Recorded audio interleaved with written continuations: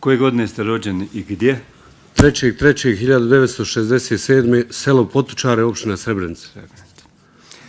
Oču, pozvani ste danas kao svjedok u ovom krivičnom predmetu. Dužnost svjedoka je da govori istinu, lažno svjedočenje predstavlja krivično djelo. Imate ispred vas tu tekst zakljetve napisan, pa molim da naglas pročitate. Treba li da ustajem? Ne trebate. Zaklinjem se i izjavljujem da ću o svemu što pred sudom budem pitan, govoriti istinu i da ništa od onoga što mi je poznato neću prešutjeti. Pošto ste svjedok tužilašta, prvo će vas direktno ispitati tužioci, a poslije ćemo dati priliku odbrani da vam postavaju nakrsna pitanja. Izvolite. Ili mogu sjetiti časni sud? Izvolite. E, dobar dan za svjedoka. Možete li mi reći u sudnici da li poznajete nekoga? O, mislim, na Od, ovoj od strani. zatvoreni ili od... Ova, od optuženih. Znam, is- znam Zijada Turkovića iz, iz grada gospodina Lakonjića sam upoznao iz novina ovaj, gospodina Iza fabrika čarapa, njega sam znao prije ove ostale, mislim da ne znam. Dobro. Recite mi, e, molim vas, e, da li vam je posna, poznat period nestanka, da li se sjećate perioda nestanka Marija Tolča i Wernera Dajerija? Pa u tom periodu ja ne znam, nisam poznao te momke, ono što je bilo u medijima, što sam slušao u medijima, čitao, onaj, čuo sam da, da se zovu tako i tako dalje. Kroz priče onaj, u komšiluku, znači gore ima jedna kafanica gdje, ja, gdje sam sjedio u Din Donu, pored, onaj, pričali su bile radne, razne konstrukcije, znate kako to već, Dobro. onaj, Recite mi. i kroz to nešto sam upoznat. A, recite mi, poznajete li Nasira Kelmendija? Da. Jeste li prijatelji, poznanici? Jesmo možete? prijatelji, ja sam stanovao gore kad po izlasku iz Haga, ja sam, onaj, dok sam čekao stan da mi se uradi, ja sam stanovao u njegovom hotelu Casa Grande. Aha. Recite mi, u tom periodu, ovaj, kad su te priče, kako vi kažete, bile, da li vam je Naser nešto govorio, saopštavao? Da li su, po, sjećate li se tog perioda i da li je on nešto vama govorio? Vezano za, za ove događaje Da, da, i tako da, da. dalje. Znači, kroz, kroz jedne prilike smo sjedili, onda onaj, za, priča je svakodnevna, čitanje dnevnih štampe i tako dalje, i kroz priču on mi je rekao da po, da e, ima određene informacije gdje mu se sprema likvidacija i da vodim računa i ja da ne bi neko onaj pomiješao moje ime i njegovo, pošto smo imenjaci. Ja sam, sa, ja sam se nasmijao, onaj rekao, pošto je on stariji, da je red da on prvi ide da ja ostanem. Mislim, ono šala bila. Ali kroz tu priču, znači, ovaj, saznao sam neke stvari. Šta ste saznali tačno? Pa saznao sam da onaj od prilike, znači po njegovoj priči da e, Zija Turković zvani Zika, znači mu e, priprema likvidaciju, tako mi je rekao. Da li je poznato vama, da li ste znali e, da postoje neke nesuglasnice između, nesuglasice između Turkovića i Kelmendija? Ono što znam, znači isto tako je bilo onaj po mom dolasku u hotel Casa Grande, znači znam da je bilo nesuglasica i znam isto tako da su se izmirili onaj posle tih e, stvari. To ja mislim da je bio vezano za neki stan u, oko, oko pljačke stana e, Nasara Kelimendija. E, molim vas, kad prvi put vi e, čujete za ime Milenko Lakić? Pa, Da li u tom periodu ili kasnije? Pa u, u tom periodu ili nešto malo kasnije čujem za onaj priču da je jedna grupa ovaj tih momaka koji, koji navodno onaj u tom onaj periodu pripremaju likvidaciju Nasir Keljmendiju ili Nasir Oriću. Ja ne znam, s obzirom da, da, da smo isto imenjaci, do, zbog priče i svega ostalog, ja sam onaj počeo ozbiljno razmišljati i raspitivati se, istraživati preko svojih nekih kanala da vidim o kome se to radi, da li je to o meni ili o ovaj gospodinu Naseru Keljmendiju. I naravno, onaj, s obzirom da ima veliki broj mojih kolega koji su sada u Beogradu na visokim pozicijama i tako dalje, raspitivao sam se u tom imenu i dosta informacija sam dobio, tako da onaj, ali sam to naravno, naravno držao sve sa rezervom. Recite mi, preko koga ste se raspitivali? Konkretno. Pa, konkretno, znači, pored mojih kolega, konkretno, o, s obzirom da sam upoznao jedne prilike, pošto sam ja ovaj ljubitelj e, pasa, na jednoj od izložbi u Tuzli sam upoznao jednog momka koji se zvao e, Zoran Viličković, zvani Zoka. I ja sam njeg nazvao i pitao ga za, za gospodina Lakića i on mi je rekao da, da nema teoretske da bi taj čovjek pucao na mene, da se radi jednom, o, o jednom čovjeku koji, koji nije sposoban tako nešto da uradi. Međutim, ja onaj nisam želio da, da onaj da razmišljam o tome. Uzgred on mi je rekao da se radi o jednom čovjeku koji, koji, je, onaj, koji konzumira droge i tako dalje.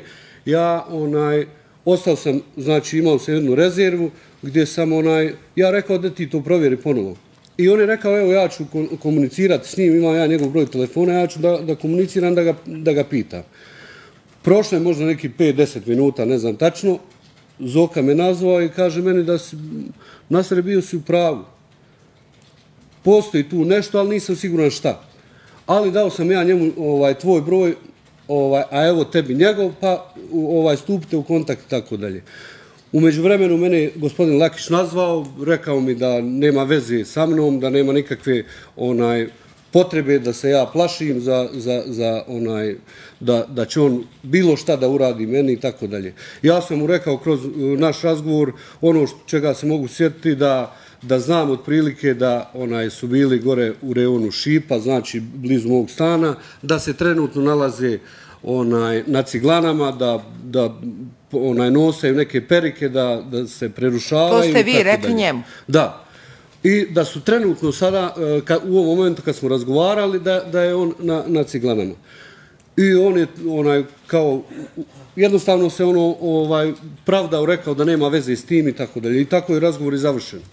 E, rekli ste da ste se raspitivali. Da li ste još neki detalja čuli o Milenku Lakiću? Naravno da sam čuo, e, ja sam tražio onaj kompletnu njegovu biografiju. Znam da je učestvovao u jednoj od akcija na Kosovu, e, gdje je e, učestvovao u jednoj akciji Selo Račak, ako se ne varam, gdje je izvršen onaj masakr tih civila. I oni su mi rekli da u toj akciji je navodno bio onaj gospodin Lakić i da zbog nevojničkog ponašanja je on izbačen iz te specijalne jedinice u kojoj je pripadao. Kad kažemo, kako ste rekli da vas citiram, e, nevojničko. nevojničkog ponašanja, šta po tim razumijevate? Podrazumijevate?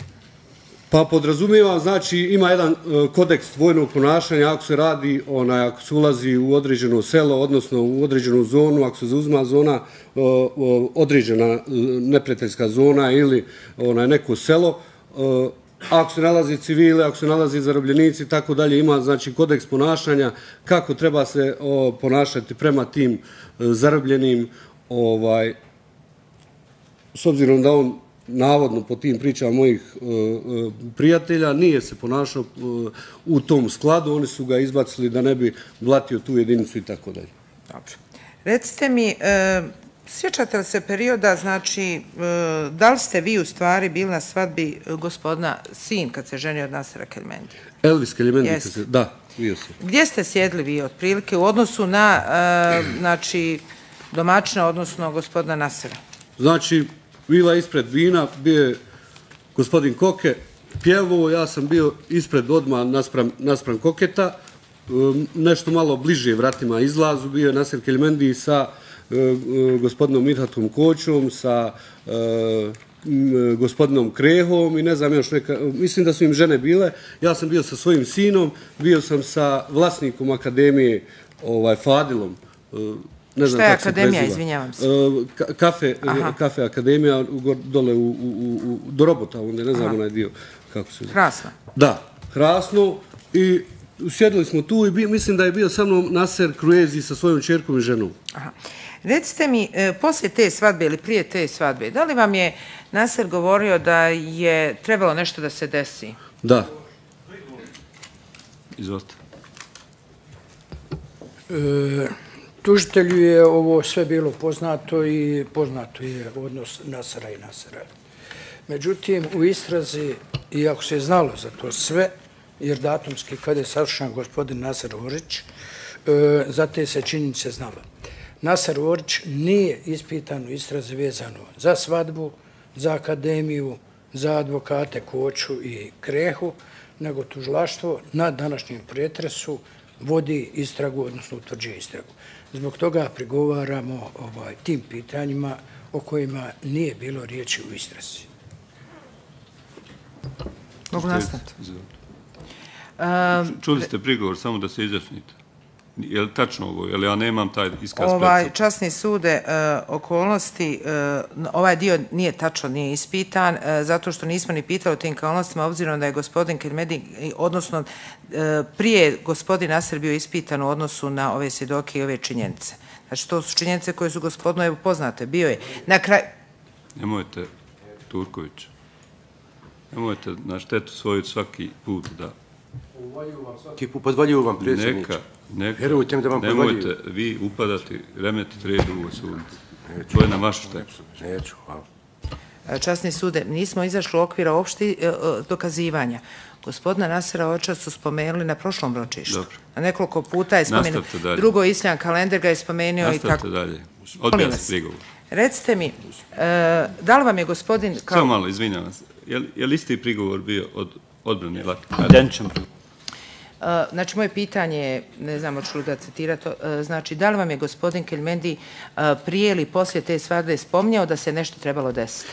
Naravno, posle svadbe da je prije ne bi ni bili tu sigurno, jer niko nije lud da bude tu da, da, da, da pogine. Znači, to je bilo posle sva- svadbe, ne znam tačno koliko dana, kro, opet kroz onaj neformalan razgovor, rekao mi je, znaš šta je trebalo da bude tu, tako tako, eto. Šta je trebalo biti u kratkim crtama? Pa, navodno neka e, e, eksplozija, odnosno mina, da se po, postavi mina, da, da onaj se o, o, jednostavno da, da, da pobiju te ljude, jel? da, tako je. E, recite, spomenuli ste akademiju u svom, svojoj izjavi. E, da li ste posjećivali taj kafić? Da. S kim ste ga posjećivao? Pa imao sam prijatelja, između ostalog s Nasrenom Keljmenijem sam u Da li- tom vremensku, vremenskom periodu, ako me pitate, znači vezano za ovaj slučaj, jesam, bio sam tu. E, recite mi, je li gospodin ovaj, e, Kelmendi, odnosno vama je li nešto bilo sumnjivo od, uslijed tih odlazaka i, kafa Pa u bilo tom? mi je u odnosu na prije, znači kad smo se družili sve ostalo, ovaj, vidio sam da Nasir Keljmendi je imao pojačanje u obezbeđenju. Znači, išla su dva auta, bila su dva auta onaj, sa, sa, sa tim nekim momcima. Ovaj, ja sam ga pitao šta je u pitanju, šta je posredi, jer vidio sam da nešto nije u redu. Onaj, ja nisam imao nikad, sa- sam nikakvo obezbeđenje.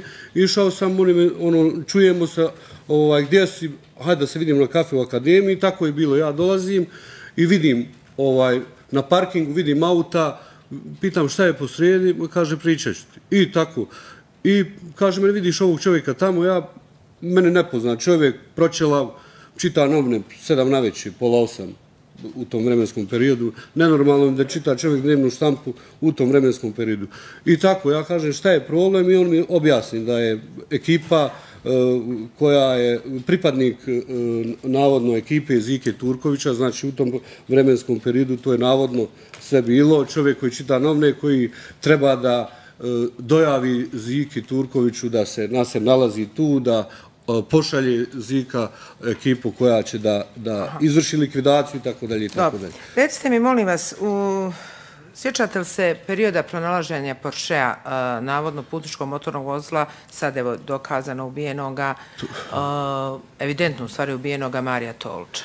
Pa, sjećam se, e, znači opet je to kroz neformalni razgovor, kad izađemo ujutru na kafu dole u restoran Din Don, onaj, sjedimo s gazdom to, tog restorana, sa tim komšijama i tako kroz priču, čitamo drevnu štampu i prepričavamo. I onda onaj kaže, ja znam ovoga, onaj zna onoga i tako. Ono, što bi rekli u Sarajevu, mahalam.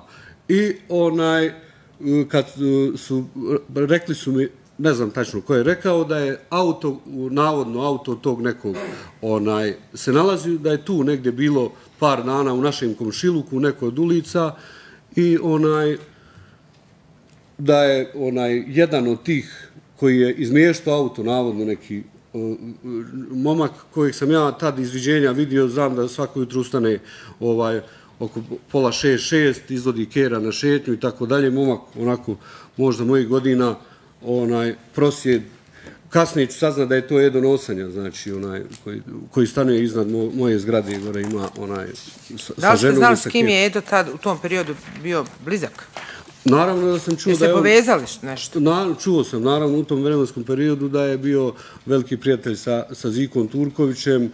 opet vam kažem, znači, ono, ono, ona Sarajevska, Mahalska, pričali su mi kako su oni, navodno, za vrijeme rata bili negdje vani gore, kako su radili neka djela i tako dalje, i tako dalje, da je on služio za iznošenje nekih sefova i tako. E sad, znači, pošto kupio, poto prodao. E, Spominjali ste telefonski razgovor sa Milenkom Lakićem. Sjećate li se ko je koga nazvao? Mislim, zna da je protekrene. Možete li se sjetiti? Ono čega se ja mogu sjetiti, mislim da je Lakić mene nazvao. A, jeste li imali njegov broj telefona u svom Da. mobilnom u imeniku? Meni je Sjeć- Zoka dao taj broj Dobro, telefona. recite mi, kako Ja ste ga sam- spasili, sjećate li se? Molim? Kako ste spasili Pohranio sam ga onaj u... u imenik? Sjećate li se pod kojim imenom? Nebitno, mislim, možete li se Ne sjetiti? mogu da sjetim, prošlo je Možete li mi još samo reći, e, sjećate li se koji je vaš broj mobitela? E, 705 zadnji broj. 705. 909, 705. Koji je, o, jel 06, koji je broj, mislim? Ne znam koji je Dobro. poziv nije. A, vama hvala, ja nemam više pitanja za sada. Dobro, idemo na nakrsna. Izvolite, Branjuće, prvo optuženo. Časni predsjedavajući, normalno da danas gospodina Nasara nisam u stanju unakrsno ispitati u odnosu na ono što sam stavio prigovor. Da ću ja i razlog. Ne radi se o tome da se nešto ovaj, razlači postupak, nego jednostavno je u ovom predmetu je sašano niz svjedoka. Ja moram ponovo proučiti iskaz Nasera Kelmendija i drugi ljudi da bi bio sposoban unakrsno ispitati gospodina Nasera Orča na ovo novo, na što se nisam ni mogu pripremiti. Imamo izjašnjenje tužiteljice da zaista u istrazi o tome nije bilo govora. Prema tome, ja ću to ostaviti i stavit ću prijedlog da se Nasar ponovo pozove da bi ga saslušao nakrsno u odnosu na taj dio. U odnosu na ono što je Nasar svjedočio u tužiteljstvu 18.4.2011. godine, ja imam pitanje. Nasere, molim vas, kada ste govorili o tome da ste čuli da je nestao Mario Tolić i Werner Ajdari i da je pronađen nekakav Porsche. Vi u tužilaštvu, kad ste saslušavani na tu okolnost, niste uopće spomenuli Ziju Turkovića, zar ne? Nisam, sigurno. Pitali su me samo kako ga znam, znači ja sam rekao Ne, ne, znam ovaj, ga e- ovako u prolazu po gradu smo se viđali kako se šta radi, što je sve. Svaka korespondencija između mene i njega, to je bilo. E, Kad ste govorili, vi ste rekli samo za jednu osobu, uopšte niste spominjali Ziju Turkovića. Moramo prigovor uložiti. Jer sud ne, nema ovaj zapisnika, u tom zapisniku izrečito ima rečenica, a taj momak je opet navodno dobar sa Zijadom Turkovićem. Doćemo i do toga. Govorimo o prvoj rečenici. Možete biti dobro, dajte taj... Ja, ali postavili ste Branjuće pitanje da u istrazi uopšte nije spomenuo Zijadu Turkovića. Jeste, i da je spomenuo samo jedno ime. Ali, ali da- sad vam je tužilac pročitao Nije da- pročitao tu rečenicu. Nemojte. pročitao vam je pročitati. rečenicu gdje je Ja svjedok ću vam prvu spomenuo rečenicu- Zijada. Turkovića. Ne, Časni Ne. mogu se vratiti. Evo, Mo evo, sačekajte, Branla pa će možete skakati po košte. Ja, ja imam prvu rečenicu od gospodina Nasara. Kaže, nakon što je svjedok obavješten u predmetu svjedočenja, izjašnjava se kako slijedi. U periodu prošle godine, negdje u vrijeme kad je u javnosti procurila informacija o nestanku Marija Tolića i Wernera Idarija i pronalasku njihovog Porschera na ciglana- ciglanama, dobio sam informaciju od Nasara Kalmendija da osoba po imenu Milenko Lakić, ja se izvinjavam, priprema moju i njegovu likvidaciju, te mi je objasnio da se radi o planovima da se ubije Nasar u Sarajevu. Dakle, ne govori se uopšte o ziji što je danas e, svjedok rekao. Eto, to je to. Jeste ova- ovako izjavili? Da vam kažem, o, ovaj, bez, bez imalo ljutnje, znači, to je se tad šta. podrazumijevalo u gradu, je bila priča da je Milenko Lakić bio u ekipi sa gospodinom Turkovićem, da su tad, znači, te priče i tako da je meni bilo ono, podrazumijeva se, ali eto, ako, je, ako hoćete da kažem, sad znači, onaj, ono što ja e, znam na sudu se pika ono što, što kažemo sad u sudnici, znači, podrazumijevalo se da je gospodin Zika Turković bio u, u, u toj ekipi. Mene je tad čudilo zašto je on ovaj aminovao za, za, za tu likvidaciju, navodno, zašto je uh, lak, Laki... mene Nasra htio je ovaj, oprostite, nema potrebe. Potom, potom. Ovaj, to, to da, da vi znate da se to podrazumijeva, vi to niste rekli u istrazi. tad, znači nisam, jer se podrazumijevalo, ali eto, nema veze. Mislim da tog istrage, onaj, dokazivanja ništa ne pije vode, ovo što sam ja vama rekao je to, Dobro, pa ne pije zika sigurno, ali eto. piće nešto kod sudije. Idemo dalje. Evo, ako, evo ova rečenica je up- upravo uh, bitna zadnja rečenica na ovoj strani 3. O tome da li je Turković... sude ja prigovaram, stvarno. Već evo nekoliko puta, ako smo mogli zamijeniti svi u sudnici, uvaženi kolega samo čita izjave. Znači, svjedok je prije svega zbunio, ne kažem ja da je ovaj svjedok zbunjen, čitajući kao da svjedok treba na pamet da nauči. Nijedno pitanje do sad nismo čuli unakrsno. Odmah se čitaju izjave. Znači, ja prigovaram, možda da uđe u eter, da prigovaram način ispitivanja, način odnosno odmah ali čitam. nemojte, tužiteljice, pustite da Pa da završi. znamo da- Upravo se osvrće na ono na što ste vi prigovorili. Izvolite. Ovaj, mogu li ja ponoviti unakrsno prvo pitanje svoje? Pročitajte to što ste pošli da čitate. A isto ovo sam pitao unakrsno i predočavam gospodinu Nasaru da, da je drugčije rekao. O tome da li je Turkov Zijad imao bilo kakvu ulogu u svemu tome, nije mi poznato. Isključio.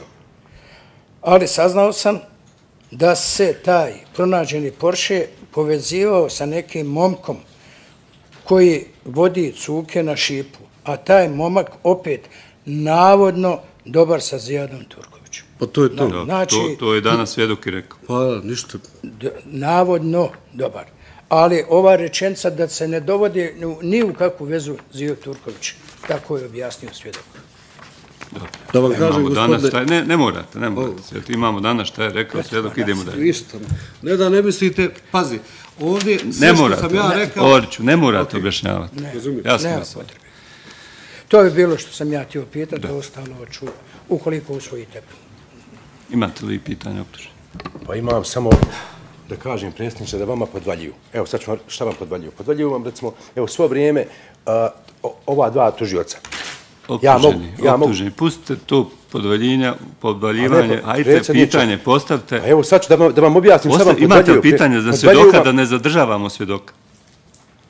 Vi Imate li stvarno štitite njih, predsjedniče. Ne štiti, Pa nego reći smo u fazi postavljanja Pa pitanja. Ja sam pravosnažno oslobođen ove priče što on priča i što je Nasar Keljemendi pričao. Tog pucanja, holdina i svega. Svi svjedoci su bili predsjednici na kantonalnom sudu za eksploziju, za taj stan. Ja sam oslobođen pravosnažno toga predsjedniče. Dobro. A tu, tu, ova dva tužioca znaju to i uvaljuju redovno Dobro. da, da sam navodno pucao. I s- Imate li pitanje za svjedoka? Pa imam jednostavno, evo, samo da, da se konstatuje da Nasar Keljemendi, tvoj prijatelj, zna komu je provalio stan i ja sam mu rekao lično. gospodine i on to zna. Ja, Nek- se- Ne morate. I on to zna. dobro. I on je znao to i prošli put, ali se pravi budala. Dobro. ja, To, ja nije, nisam- to nije pitanje, nećete odgovarati ništa. Idemo dalje. Imate li još pitanje? Pa nema, evo ja sam se malo raspitivo Nasar, pošto mi znamo u prolazu, pitao sam ovaj, ko je u stvari Nasar Orć. Onda sam saznao, recimo, evo sad Optužen, imam ne priliku, možete, imam priliku, vamo ima, ne možete pričati sad to, u ovoj fazi o tome. Molim vas, pitanje imate li za svjedoka? Vezano što je svjedok danas izjavio ovdje u sudnici. pa nema, mi ćemo ga pozvati na direktno ispitivanje U redu. Idemo dalje. Sljedeće odbrane redom. Odbrana drugog drugo optuženog nema pitanja. Dobro. Očigledno da ima samo odbrana Lakića. Izvolite. Dobar dan, Dejan Bogdanović, advokat, Dobar dan. Branlac Lakića. Gospodine Oriću, pošto se ja prošlani sude pridružujem ovom prigorku, ujedno bio i moj prigor, na sve ovo što nije ispitivano istrazi, ja ću ga pozvati, to će biti ili zajednički ili odvojeni prijedlog kao svjedoka u direktnom ispitivanju. Ali želim samo iz ovog dijela u kojem ste svjedočili 18.4. par pitanja. Vi kažete da ste izvršili, nakon što ste dobili informaciju, izvršili ste provjere kod izvjesnog Zoke Veličko iz Zorana. Da. I taj čovjek vam je rekao, ako možete sad to potvrditi, da Lakić nije sposoban da ubije i da Lakić nema u tom smislu, nema takve pozadine i da je on jedan običan narkoman. U prvom momentu da. Dobro. Kasnije mi je rekao da, da ima tu nečega, evo ti broj. Jeste li i- o tome, o tome što ste vi kasnije saznali, vi niste pričali o istrazi, je li tako? Ne razumijem, kako o nisam... tome, o vašem naknadnom saznanju, o tome da Lakić planira u vaše ubijstvo, niste pričali u istrazi, je li to tačno? Da vam kažem, rekao sam, e, izme, kontakt između mene i, i Ne, ne, samo vas pitam, jeste li to tad pomenuli u istrazi, da ste naknadno saznali informacije da ipak to možda tačno, da Lakić planira vaše ubistvo? Pa naravno da sam, znači, to ste taj kazali dan... u istrazi, Ta- hvala da. vam. Recite mi sljedeće. Koliko dugo, zapravo, ajde ovako ćemo, vi ste danas kazali i hoću da vas ispitam, pošto to govori o i pokušavate narušiti karakter Lakić Milenka, da je on imao nevojničko ponašanje. To po vojničkom kodeksu smatra se šta? Kako je to nevojničko ponašanje?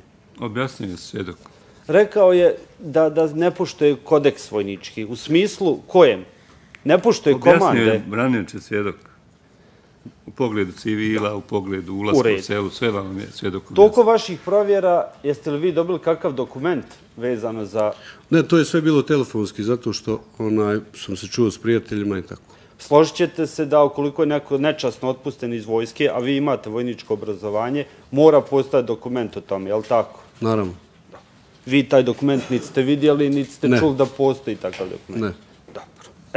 Ja nemam više pitanja vezano za nakrsni dio, ali ćemo direktno imati drugih pitanja. U redu.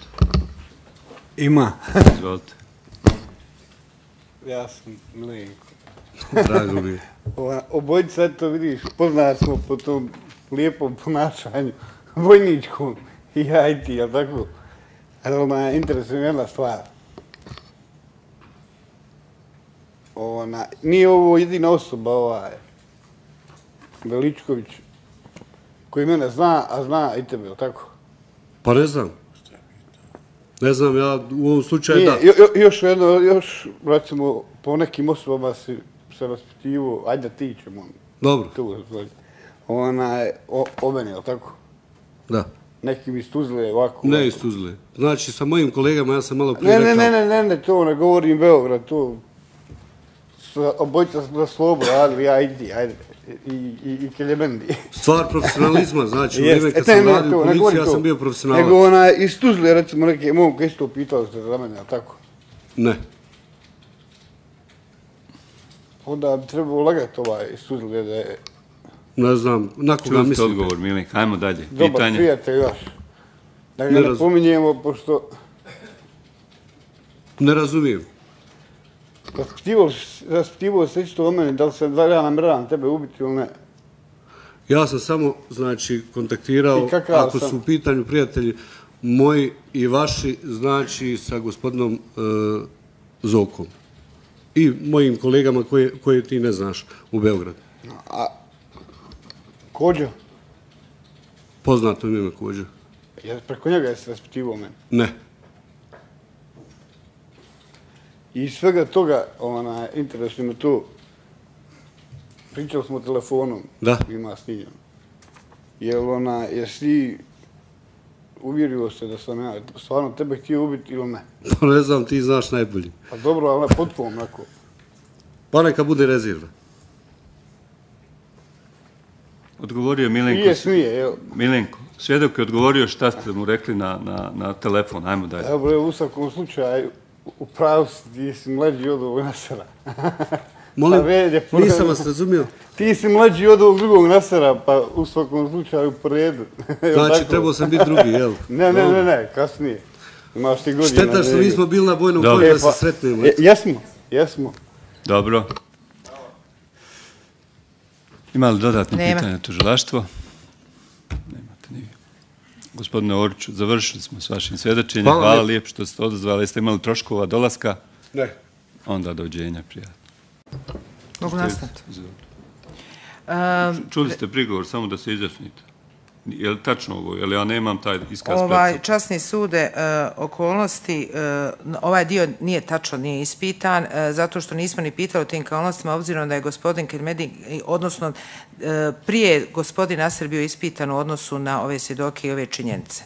Znači, to su činjenice koje su gospodinu evo poznate. Bio je na kraju... Nemojte, Turković.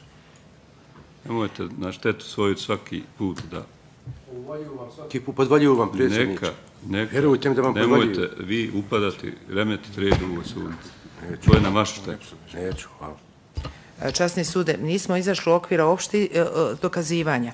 Gospodina Nasera Oča su spomenuli na prošlom ročištu. Dobro. Na nekoliko puta je spomenuo. Nastavite dalje. Drugo, Isljan kalender ga je spomenuo i Nastavite tako. dalje. Molim Odbija vas. se prigovor. Recite mi, e, da li vam je gospodin... Kao, Samo malo. Je li, je li isti prigovor bio od odbrane Laki? Identičan Uh, Znači, moje pitanje je, ne znam, hoću li ga citirati, uh, znači, da li vam je gospodin Kelmendi uh, prije ili poslije te svadbe spomnjao da se nešto trebalo desiti? Naravno, posle svadbe da je prije ne bi ni bili tu sigurno, jer niko nije lud da bude tu da, da, da, da pogine. Znači, to je bilo posle sva- svadbe, ne znam tačno koliko dana, kro, opet kroz uh, onaj neformalan razgovor, rekao mi je, znaš šta je trebalo da bude tu, tako i tako, eto. Šta je trebalo biti u kratkim crtama? Pa, navodno neka e, e, eksplozija, odnosno mina, da se po, postavi mina, da, da onaj se o, o, jednostavno da, da, da pobiju te ljudi, da, tako je. E, recite, spomenuli ste akademiju u svojoj izjavi. Uh, Da li ste posjećivali taj kafić? Da. S kim ste ga posjećivali? Pa imao sam prijatelja, između ostalog s Nasrenom Keljmenijem sam u Da li- tom vremensku, vremenskom periodu, ako me pitate, znači vezano za ovaj slučaj, jesam, bio sam tu. E, recite mi, je li gospodin ovaj, e, Kelmendi, odnosno vama je li nešto bilo sumnjivo od, uslijed tih odlazaka i, kafa Pa u tom? mi je u odnosu na prije, znači kad smo se družili sve ostalo, ovaj, vidio sam da Nasir Kelimendi je imao pojačanje u obezbeđenju. Znači, išla su dva auta, bila su dva auta onaj, sa, sa, sa tim nekim momcima. Ovaj, ja sam ga pitao šta je u pitanju, šta je posredi, jer vidio sam da nešto nije u redu. Onaj, ja nisam imao nikad, sa- sam nikakvo obezbeđenje. Išao sam, oni ono, čujemo se, ovaj, gdje si, hajde da se vidim na kafe u akademiji, tako je bilo, ja dolazim i vidim ovaj, na parkingu, vidim auta, pitam šta je po sredi, kaže pričat ću ti. I tako. I kaže mene vidiš ovog čovjeka tamo, ja, mene nepoznat čovjek, pročela, čita novine, sedam na veći, pola osam u tom vremenskom periodu. Nenormalno je da čita čovjek dnevnu štampu u tom vremenskom periodu. I tako, ja kažem šta je problem i on mi objasni da je ekipa koja je pripadnik e, navodno ekipe Zike Turkovića, znači u tom vremenskom periodu to je navodno sve bilo. Čovjek koji čita novine, koji treba da e, dojavi Ziki Turkoviću da se Nasir nalazi tu, da e, pošalje Zika ekipu koja će da, da izvrši likvidaciju i tako dalje i tako dalje. Recite mi, molim vas, u... sjećate li se perioda pronalaženja Porschea, uh, navodno putničkog motornog vozila, sad evo dokazano ubijenoga, uh, evidentno u stvari ubijenoga Marija Tolča? Pa, sjećam se, e, znači opet je to kroz neformalni razgovor, kad izađemo ujutru na kafu dole u restoran Din Don, onaj, sjedimo s gazdom to, tog restorana, sa tim komšijama i tako kroz priču, čitamo drevnu štampu i prepričavamo. I onda onaj kaže, ja znam ovoga, onaj zna onoga i tako. Ono, što bi rekli u Sarajevu, mahalam. I onaj, e, kad e, su, rekli su mi, ne znam tačno ko je rekao, da je auto, navodno auto tog nekog, onaj, se nalazi, da je tu negdje bilo par dana u našem komšiluku, u nekoj od ulica i onaj, da je onaj jedan od tih koji je izmještao auto, navodno neki e, momak kojeg sam ja tad izviđenja vidio, znam da svako jutro ustane ovaj, oko pola šest, šest, izvodi kera na šetnju i tako dalje. Momak, onako, možda mojih godina, onaj, prosjed, kasnije ću saznat da je to Edo Nosanja, znači, onaj, koji, koji stanuje iznad mo, moje zgrade, gore ima, onaj, sa, Da li ste ženom i znali s kim je Edo tad u tom periodu bio blizak? Naravno da sam čuo Jeste da je on... povezali nešto? Na, čuo sam, naravno, u tom vremenskom periodu da je bio veliki prijatelj sa, sa Zikom Turkovićem. Opet vam kažem, znači, ono, ono, ona, Razumijeva, vi to niste rekli u istrazi. tad, znači, nisam, jer se podrazumijevalo, ali eto, nema veze. Mislim da tog istrage, onaj, dokazivanja ništa ne pije vode, ovo što sam ja vama rekao, je to, Dobro, pa ne pije Zika, sigurno, ali eto. piće nešto kod sudije. ne? Idemo dalje. Evo, ako, evo ova rečenica je up- upravo o, bitna zadnja rečenica na ovoj strani 3. O tome da li je Turković... sude ja prigovaram, stvarno. Već evo nekoliko puta, ako smo mogli zamijeniti svi u sudnici, uvaženi kolega samo čita izjave. Znači, svjedoke prije svega zbunjuje, ne kažem ja da je ovaj svjedok zbunjen, čitajući kao da svjedok treba na pamet da nauči. Nijedno pitanje do sad nismo čuli unakrsno. Odmah se čitaju izjave. Znači, ja prigovaram, možda da uđe u eter, da prigovaram način ispitivanja, Način odnosno odmah ali čitam. nemojte, tužiteljice, pustite da A dobro, evo, Branilac samo da završi. znamo da- Upravo se osvrće na ono na što ste vi prigovorili. Izvolite. Ovaj, mogli ja ponoviti u nakrsno prvo pitanje svoje? Pročitajte to što ste pošli da čitate. A isto ovo sam pitao u nakrsno i predočavam gospodinu Nasaru da, je drugčije rekao. O tome da li je Turkov Zijad imao bilo kakvu ulogu u svemu tome, nije mi poznato. Isključio. Ali saznao sam da se taj pronađeni Porsche povezivao sa nekim momkom koji vodi cuke na šipu, a taj momak opet navodno dobar sa Zijadom Turkovićem. Pa to je to. Da, Znači- to, to je danas svjedok i rekao. Pa ništa. Navodno dobar. Ali ova rečenca da se ne dovodi ni u- ni u kakvu vezu Zio Turković, tako je objasnio svjedok. Da vam kažem, Imamo danas gospodine, ne, ne morate, ne morate. Imamo danas šta je rekao svjedok, idemo dalje. ništa. Ne da ne mislite, pazi, ovdje sve Ne što morate, sam ja rekao, Oriću, ne morate objašnjavati. razumijem. Ja sam Nema vas potrebe. To je bilo što sam ja htio pitati, ostalo ću ukoliko usvojite. Imate li pitanja optuže? Pa imam samo da kažem predsjedniče da vama podvaljuju. Evo sad ću vam, šta vam podvaljuju? Podvaljuju vam recimo, evo svo vrijeme ova dva tužioca. Ja mogu- Optuženi, ja mogu- optuženi. Pustite to podvaljenja, podvaljivanje, pa, predsjedniče. pitanje, postavte. A evo sad ću da vam, da vam objasnim vam Posta, imate pitanje za svjedoka da ne zadržavamo svjedoka? Pa vi Imate stvarno štitite njih, predsjedniče. Ne štiti, Pa li vam nego smo u fazi postavljanja Pa pitanja. Ja sam pravosnažno oslobođen ove priče što on priča i što je Nasar Keljemendi pričao.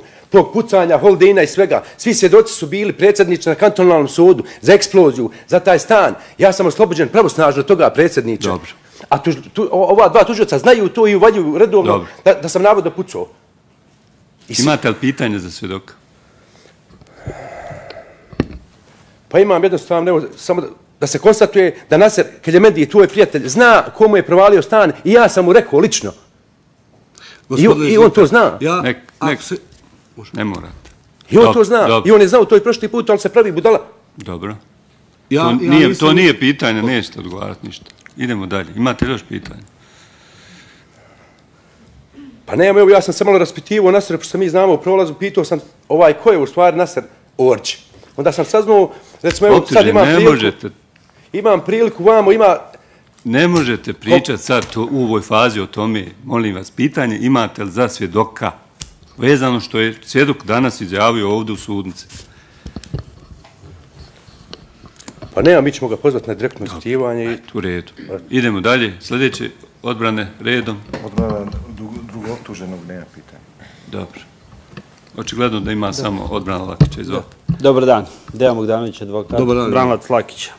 Gospodine Oriću, pošto se ja prošlom sude pridružujem ovom prigorku, ujedno bio i moj prigor, na sve ovo što nije ispitivano u istrazi, ja ću ga pozvati, to će biti ili zajednički ili odvojeni prijedlog kao svjedoka u direktnom ispitivanju. Ali želim samo iz ovog dijela u kojem ste svjedočili 18.4. par pitanja. Vi kažete da ste izvršili, nakon što ste dobili informaciju, izvršili ste provjere kod izvjesnog Zoke Veličko iz Zorana. Da. I taj čovjek vam je rekao, ako možete sad to potvrditi, da Lakić nije sposoban da ubije i da Lakić nema u tom smislu, nema takve pozadine i da je on jedan običan narkoman. U prvom momentu da. Dobro. Kasnije mi je rekao da, da ima tu nečega, evo ti broj. Jeste li i- o tome, o tome što ste vi kasnije saznali, vi niste pričali o istrazi, je li tako? Ne razumijem, kako O nisam... tome, o vašem naknadnom saznanju, o tome da Lakić Koje godine ste rođeni i gdje?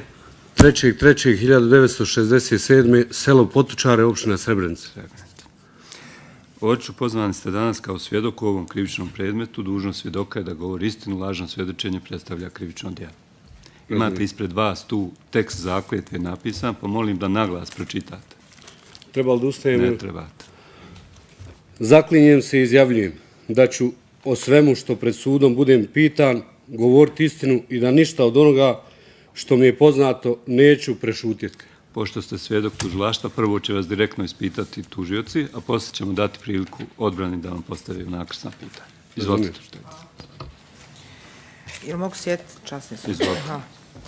E, Dobar dan za svjedoka. Možete li mi reći u sudnici da li poznajete nekoga? O, Od, mislim, na ovoj od strani. zatvoreni ili od... Ova, od znam optuženih. Znam, znam Zijada Turkovića iz, iz grada gospodina Lakonjića sam upoznao iz novina ovaj, gospodina iza fabrika čarapa, njega sam znao prije ove ostale, mislim da ne znam. Dobro. Recite mi, e, molim vas, e, da li vam je posna, poznat period nestanka, da li se sjećate perioda nestanka Marija Tolče i Wernera Dajerija? Pa u tom periodu ja ne znam, nisam poznao te momke, ono što je bilo u medijima, što sam slušao u medijima, čitao, onaj, čuo sam da, da se zovu tako i tako dalje. Kroz priče onaj, u Komšiluku, znači gore ima jedna kafanica gdje, ja, gdje sam sjedio u Din Donu, pored, onaj, pričali su bile radne, razne konstrukcije, znate kako to već, Dobro. onaj, Recite mi. i kroz to nešto sam upoznat. A, recite mi, poznajete li Nasera Kelmendija? Da. Jeste li prijatelji, poznanici? Jesmo možete- prijatelji, ja sam stanovao gore kad po izlasku iz Haga, ja sam, onaj, dok sam čekao stan da mi se uradi, ja sam stanovao u njegovom hotelu Casa Grande. Aha. Recite mi, u tom periodu, ovaj, kad su te priče, kako vi kažete, bile, da li vam je Naser nešto govorio, saopštavao? Da li su, po, sjećate li se tog perioda i da li je on nešto vama govorio? Vezano za, za ove događaje i tako da, da. dalje. Znači, kroz, kroz jedne prilike smo sjedili i onda onaj, za, priča je svakodnevna, čitanje dnevni štampe i tako dalje. I kroz priču on mi je rekao da po, da e, ima određene informacije gdje mu se sprema likvidacija i da vodim računa i ja da ne bi neko onaj pomiješao moje ime i njegovo, pošto smo imenjaci. Ja sam, sa, ja sam se nasmijao, onaj rekao, pošto je on stariji, da je red da on prvi ide da ja ostanem. Mislim, ono šala bila. Ali kroz tu priču, znači, ovaj, saznao sam neke stvari. Šta ste saznali tačno? Pa saznao sam da onaj od prilike, znači po njegovoj priči da e, Zijad Turković zvani Zika, znači mu e, priprema likvidaciju, tako mi je rekao. Da li je poznato vama, da li ste znali e, da postoje neke nesuglasnice između, nesuglasice između Turkovića i Kelmendija? Ono što znam, znači, isto tako je bilo onaj, po mom dolasku u hotel Casa Grande, znači, znam da je bilo nesuglasica i znam isto tako da su izmirili onaj, posle tih e, stvari. To ja mislim da je bio vezano za neki stan u, oko, oko pljačke stana e, Nasera Kelimendija. E, molim vas, kad prvi put vi e, čujete za ime Milenko Lakić? Pa, Da li u tom periodu ili kasnije? Pa u, u tom periodu ili nešto malo kasnije čujem za onaj priču da je jedna grupa ovaj tih momaka koji, koji navodno onaj u tom onaj periodu pripremaju likvidaciju Nasir Keljmendiju ili Nasir Oriću. Ja ne znam, s obzirom da, da, da smo isto imenjaci, do, zbog priče i svega ostalog, ja sam onaj, počeo ozbiljno razmišljati i raspitivati se, istraživati preko svojih nekih kanala da vidim o kome se to radi, da li je to o meni ili o ovaj gospodinu Naseru Keljmendiju. I naravno, onaj, s obzirom da ima veliki broj mojih kolega koji su sada u Beogradu na visokim pozicijama i tako dalje, raspitivao sam se u tom imenu i dosta informacija sam dobio, tako da onaj, ali sam to naravno, naravno držao sve sa rezervom. Recite mi, preko koga ste se raspitivali? Konkretno. Pa, konkretno, znači, pored mojih kolega, konkretno, o, s obzirom da sam upoznao jedne prilike, pošto sam ja ovaj ljubitelj e, pasa, na jednoj od izložbi u Tuzli sam upoznao jednog momka koji se zvao e, Zoran Viličković, zvani Zoka. I ja sam njeg nazvao i pitao ga za, za gospodina Lakića i on mi je rekao da, da nema teoretske da bi taj čovjek pucao na mene, da se radi jednom, o, o jednom čovjeku koji, koji nije sposoban tako nešto da uradi. Međutim, ja onaj nisam želio da, da onaj da razmišljam o tome. U- Uzgred on mi je rekao da se radi o jednom čovjeku koji, koji, je, onaj, koji konzumira droge i tako dalje. Ja onaj, ostao sam, znači imao sam jednu rezervu gdje sam onaj, ja rekao da ti to provjeri ponovo. I on je rekao, evo ja ću komunicirati s njim, imam ja njegov broj telefona, ja ću da, da komuniciram, da ga, da ga pitam. Prošlo je možda neki 5-10 minuta, ne znam tačno, Zoka me nazvao i kaže meni da si, na bio si u pravu. Postoji tu nešto, ali nisam siguran šta. Ali dao sam ja njemu ovaj tvoj broj, ovaj, a evo tebi njegov, pa ovaj stupite u kontakt i tako dalje. Umeđu vremenu mene gospodin Lakić nazvao, rekao mi da nema veze sa mnom, da nema nikakve onaj potrebe da se ja plašim za, za, za onaj, da, da će on bilo šta da uradi meni i tako dalje. Ja sam mu rekao kroz e, naš razgovor ono što, čega se mogu sjetiti da da znam otprilike da onaj su bili gore u reonu Šipa, znači blizu mog stana, da se trenutno nalaze onaj na ciglanama, da, da onaj nosaju neke perike, da, da se prerušavaju. To ste vi rekli dalje. njemu? Da. I da su trenutno sada, e, ka, u ovom momentu kad smo razgovarali, da, da je on na, na ciglanama. I on je onaj kao jednostavno se ono ovaj pravdao rekao da nema veze s tim i tako dalje. I tako je razgovor i završen. E, rekli ste da ste se raspitivali. Da li ste još neki detalja čuli o Milenku Lakiću? Naravno da sam čuo, eh, ja sam tražio onaj kompletnu njegovu biografiju, znam da je učestvovao u jednoj od akcija na Kosovu, eh, gdje je učestvovao u jednoj akciji Selo Račak, ako se ne varam, gdje je izvršen onaj masakr tih civila i oni su mi rekli da u toj akciji je navodno bio onaj gospodin Lakić i da zbog nevojničkog ponašanja je on izbačen iz te specijalne jedinice u kojoj je pripadao. Kad kažemo, kako ste rekli da vas citiram, e, Nevojničko. nevojničkog ponašanja, šta po tim razumijevate? Podrazumijevate? Pa podrazumijevam, znači ima jedan e, kodeks vojnog ponašanja ako se radi, onaj, ako se ulazi u određeno selo, odnosno u određenu zonu, ako se zauzma zona, e, određena neprijateljska zona ili onaj, neko selo, ako se nalazi civile, ako se nalazi zarobljenici i tako dalje, ima znači kodeks ponašanja kako treba se o, ponašati prema tim e, zarobljenim ovaj s obzirom da on navodno po tim pričama mojih e, e, prijatelja nije se ponašao e, u tom skladu, oni su ga izbacili da ne bi blatio tu jedinicu i tako dalje. Dobro. Recite mi, e, sjećate li se perioda, znači, e, da li ste vi u stvari bili na svadbi e, gospodina sin kad se ženio od Nasera Kelmendi? Elvis Kelmendi, da, bio sam. Gdje ste sjedli vi otprilike u odnosu na, e, znači, domaćina, odnosno gospodina Nasera? Znači, vila ispred vina, bio je gospodin Koke, pjevo, ja sam bio ispred odma naspram, naspram Koketa, um, nešto malo bliže vratima izlazu, bio je Nasir Kelmendi sa gospodinom Mithatom Koćom, sa m, gospodinom Krehom i ne znam još neka, mislim da su im žene bile. Ja sam bio sa svojim sinom, bio sam sa vlasnikom akademije, ovaj, Fadilom, uh, ne znam Šta je kako se akademija, izvinjavam se? Ka- kafe, Aha. kafe akademija dole u, u, u, u, do robota, onda ne znam onaj dio kako se zove. Krasno. Da, krasno i sjedili smo tu i bi, mislim da je bio sa mnom Naser Kruezi sa svojom čerkom i ženom. Aha. Recite mi, e, poslije te svadbe ili prije te svadbe, da li vam je Nasser govorio da je trebalo nešto da se desi? Da. Izvolite.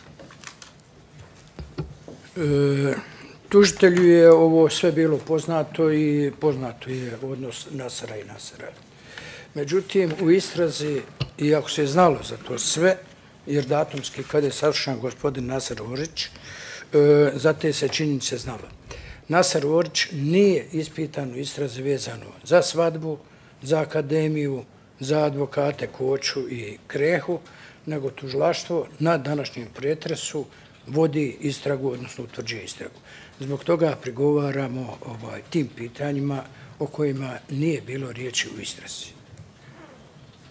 Sarajevska, Mahalska, pričali su mi kako su oni navodno za vrijeme rata bili negdje vani gore, kako su radili neka djela i tako dalje tako dalje, da on služio za iznošenje nekih sefova i tako. E sad, znači, pošto kupio, poto prodao. E, Spominjali ste telefonski razgovor sa Milenkom Lakićem. Sjećate li se ko je koga nazvao? Mislim, znam da je protekrene. Možete li se sjetiti? Ono čega se ja mogu sjetiti, mislim da je Lakić mene nazvao. A, jeste li imali njegov broj telefona u svom Da. mobilnom u imeniku? Meni je Sjeć- Zoka dao taj broj Dobro, telefona. recite mi, kako Ja ste ga sam- spasili? Sjećate li se? Molim? Kako ste spasili? Pohranio sam ga onaj u... U imenik. Sjećate li se pod kojim imenom? Nebitno, mislim, možete li se Ne sjetiti? mogu da sjetim, prošlo je Možete li mi još samo reći, e, sjećate li se koji je vaš broj mobitela? E, 705 zadnji broj. 705. 909, 705. Koji je, o, je li 06, koji je broj, mislim? Ne znam koji je pozivni. ne. A, vama hvala, nemam više pitanja za sada. Dobro. Idemo na nakrsna, izvolite Branjuće, prvo optuženo. Časni predsjedavajući, normalno da danas gospodina Nasara nisam u stanju unakrsno ispitati u odnosu na ono što sam stavio prigovor. Da ću ja i razlog.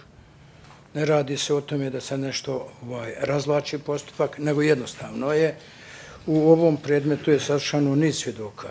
Ja moram ponovo provučiti iskaz Nasera Kelmendija i drugi ljudi da bi bio sposoban unakrsno ispitati gospodina Nasera Orća na ovo novo, na što se nisam ni mogu pripremiti. Imamo izjašnjenje tužiteljice da zaista u istrazi o tome nije bilo govora. Prema tome, ja ću to ostaviti i stavit ću prijedlog da se Nasar ponovo pozove da bi ga savršao unakrsno u odnosu na taj dio. U odnosu na ono što je Nasar svjedočio u tužiteljstvu 18.4.2011. godine, ja imam pitanje. Izvolite.